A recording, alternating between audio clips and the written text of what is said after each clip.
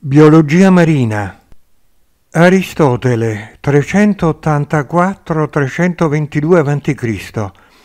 Filosofo, scienziato e logico greco, ritenuto una delle menti più universali, innovative, prolifiche e influenti di tutti i tempi, per la vastità e la profondità di conoscenza, compresa quella scientifica.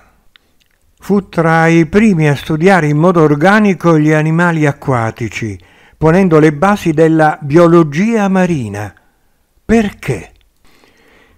Commento. L'evoluto, che è tale perché nei pressi dell'ultima incarnazione umana, inizia a sentirsi parte dell'universo, che cerca di penetrare con la mente. In attesa, quando non sarà più uomo, di penetrarlo compiutamente di coscienza.